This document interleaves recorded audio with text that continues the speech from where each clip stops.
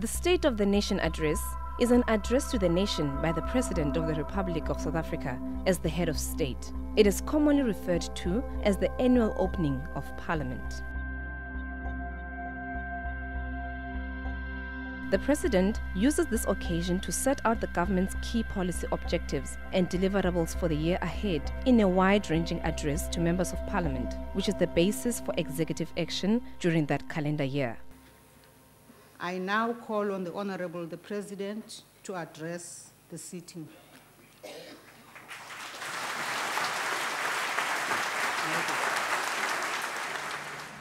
It is one of the rare occasions where the three arms of state, the executive, government, the legislature, parliament, and the judiciary, the courts, gather in one place. The executive is represented by the deputy president and cabinet. The judiciary is represented by the chief justice and judge presidents. The legislature is represented by the presiding officers and members of parliament. Since 1994, the tone of the State of the Nation address has been inclusive, joyful, and informal.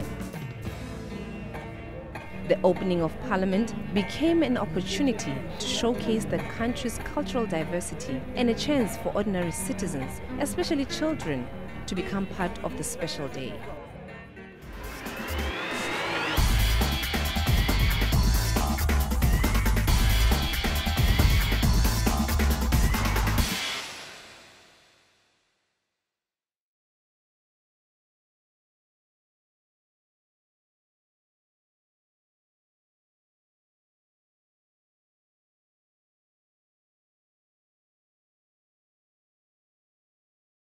Executive, government, the legislature, parliament, and the judiciary, the courts, gather in one place.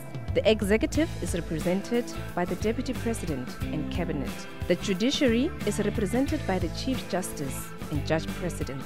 The legislature is represented by I now call on the Honorable the President to address the sitting.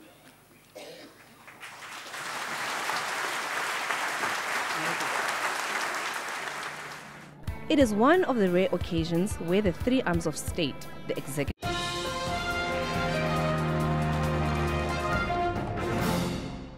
The State of the Nation Address is an address to the nation by the President of the Republic of South Africa as the head of state. It is commonly referred to as the annual opening of Parliament. The President uses this occasion to set out the government's key policy objectives and deliverables for the year ahead in a wide ranging address to members of Parliament, which is the basis for executive action during that calendar year. The presiding officers and members of Parliament.